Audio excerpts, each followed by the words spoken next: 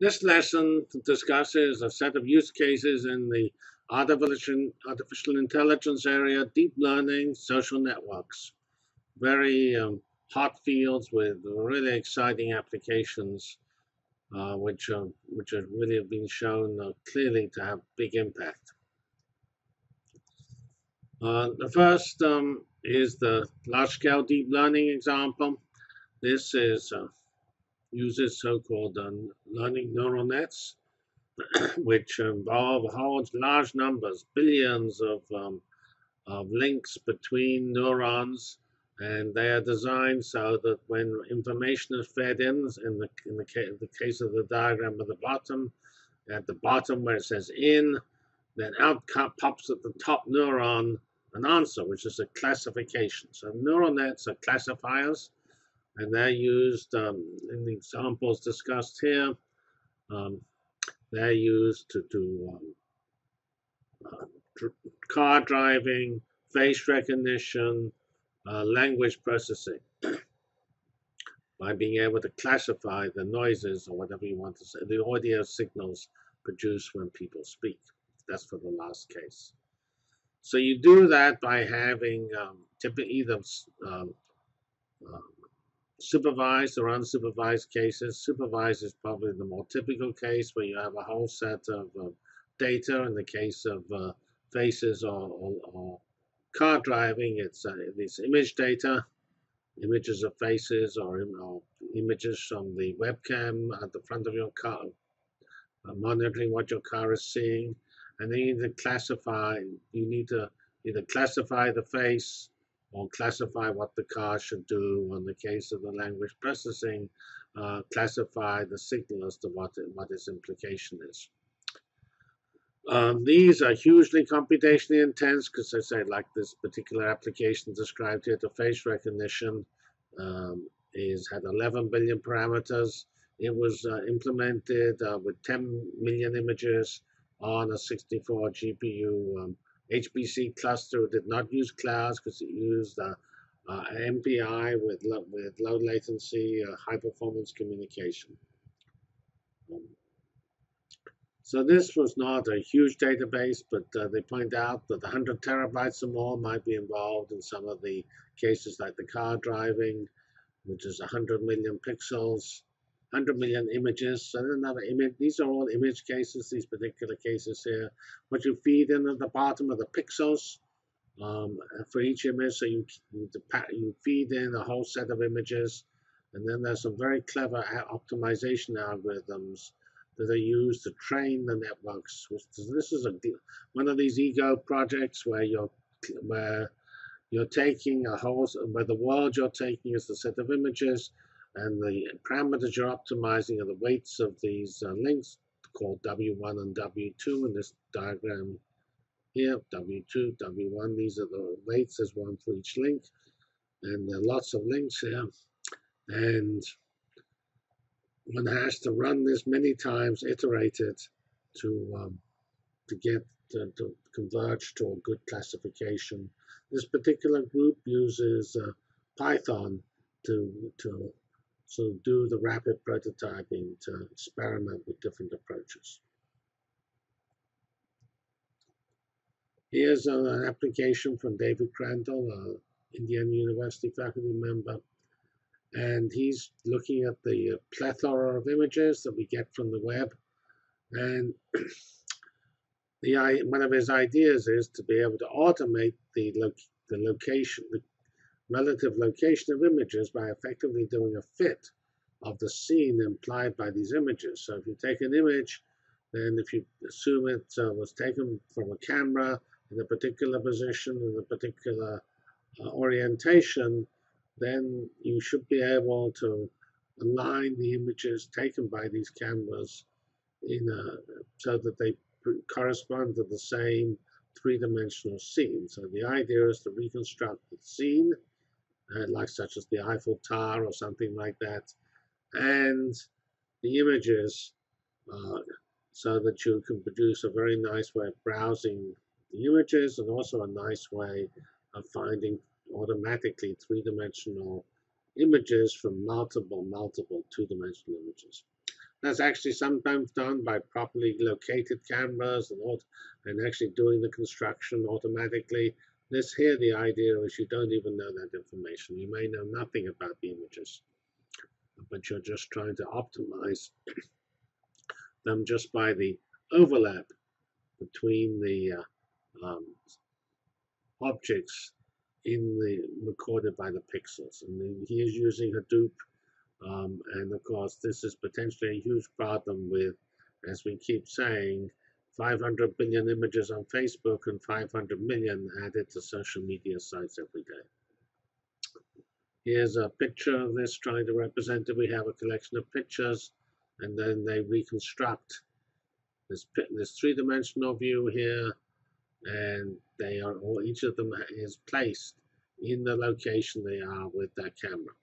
So this is a pretty nifty, exciting application. Has uh, uh, other natural, large-scale, ego-like things. This is clearly exascale global optimization in this sort of crude, in this very direct fashion, and it um, is um, quite promising that this type of, I mean, this is a good example of what the world's um, data explosion can enable.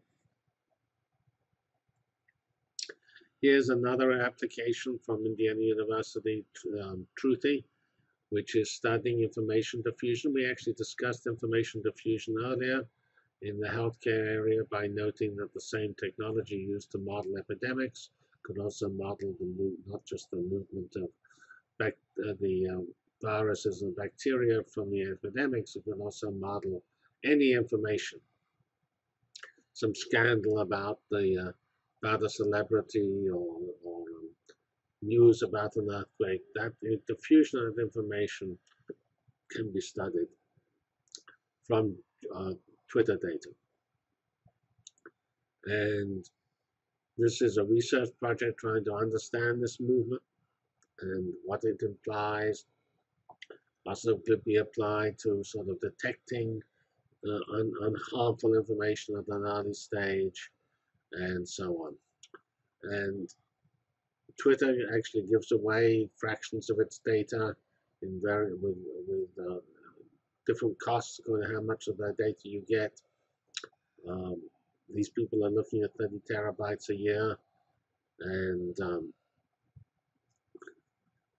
um, and they're using uh, NoSQL technology, uh, HBase with an index indexing capability built on HDFS as the backend storage and in-memory uh, in-memory databases.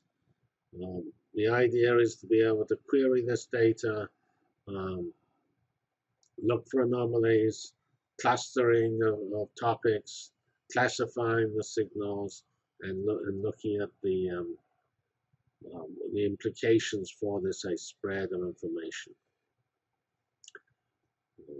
The actual data analysis is again used in Python, is used as Python. Today, there's an increasing trend to use Python as one's data analysis engine. Crowd sourcing has um, been known for some time. Uh, Amazon had something called the has something called the Mechanical Turk, which is one of the earliest cases where crowd sourcing was introduced. And um, in the humanities, uh, it's a particularly valuable way of doing things because it's effectively a generalization of the surveys that uh, an ethnography that dominates the uh, is an important way of gathering information in that field. Um, this particular use case suggests this field has only really been just started and the surface is scratched and it's possible to do a lot better than we're doing up to now. And there are obviously um, important issues for privacy when you have individuals involved and uh, how much anonymization is possible is not clear. Uh, they claim that they might get hundreds of terabytes of data, especially with the multimedia type information. Uh, this is a, a, network science uh, um, resource called CINET, uh, headed at Virginia Tech, and it's uh, basically a database holding graph information and other types of population data, and a compute resource and a set of analysis tools which basically allow you to analyze this data and uh, and uh, do your, your research.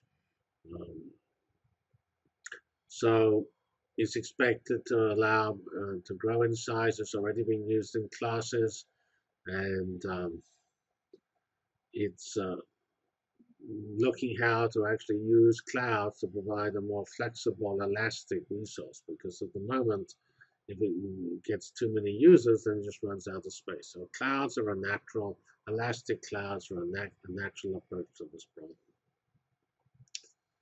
Um, so this is one of the most modern and up-to-date and comprehensive uh, um, network resources to allow you to do this uh, research. Note that there, when you have particular fields, you can distribute the uh, capabilities of software which you download, or you can actually have a back-end cloud, which is a resource where you can run the software by uploading your data.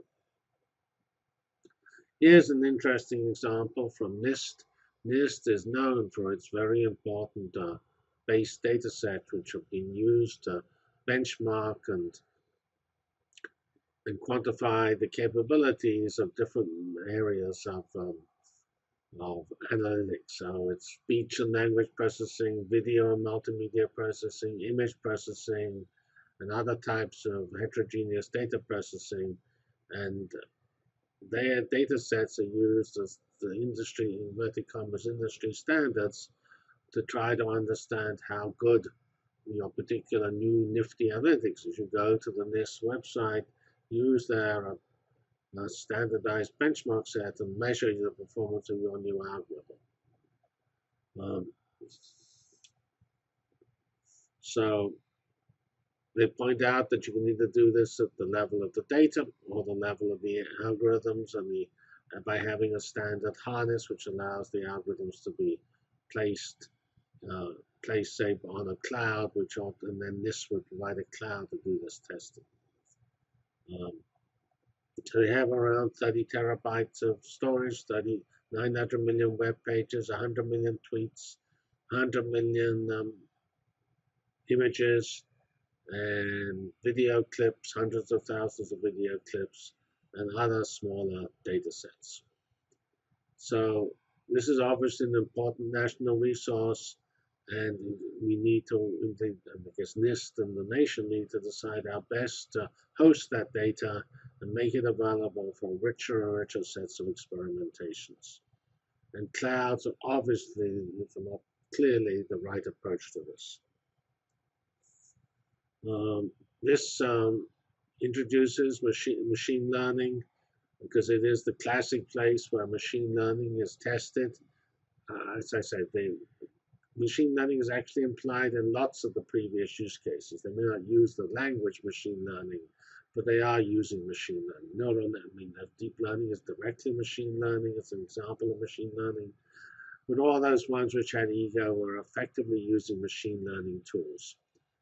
Um, and they, have, but of course, this particular data set teacher um, explores many different machine learning algorithms. When we uh, look at the classification, we would define machine learning into two types: local machine learning, where the machine learning is applied to every individual um, um, item in the data. Like if you have a set of images, the machine learning is applied to each image. Alternatively, it could be global machine learning, as in the case where the images are being classified together, in the case of that internet image uh, grouping for, for three-dimensional um, views, where clearly that was a global machine learning algorithm across all items of the data. And of course, the deep learning is an example of global machine learning.